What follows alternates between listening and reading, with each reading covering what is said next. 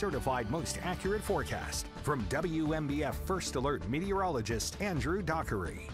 All right, 610, it's Friday, so as we look toward the weekend, I do want to give you a look at the tropics here. Tropical update, some good news, no chance of development. You might be thinking, then why are we talking about it? Just to kind of ease your mind, but also NOAA released an outlook yesterday, an updated outlook, and they've increased all the numbers in hurricane season for named storms, hurricanes, and even major hurricanes. Now the forecast calling for normal are above normal as we head into it. Remember, we've only had five storms that have been named. We had one unnamed storm and then four actual named there.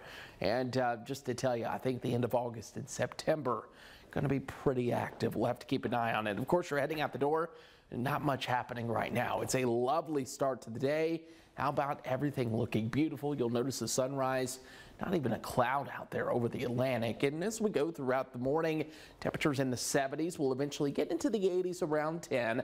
Average high 87. The record 95. We'll get it 90 today, but still fall pretty short of that. Clouds begin to build in, and eventually those clouds give way to some showers and storms that come into the forecast for the evening. The morning, you're fine. If you need to get out, you have a beach day planned, you're going to the pool, no worries. But by the time we get into the afternoon, say around the start of happy hour, check the radar because we'll start to look at showers and storms roll again and closer to 6, even 7 p.m. Some of these storms could be on the strong side as they move through the region. So we'll keep an eye on that level one severe weather risk. In fact, take a look at it. It's now level two, and I don't think we're talking really much severe weather, but with heat and humidity, a strong storm can't be ruled out. Speaking of heat and humidity, we think today is bad. Get ready. Today is actually pretty tolerable when you look beyond today's forecast and into the weekend. Here we come back with the heat and humidity. I'll be honest with you, probably and could be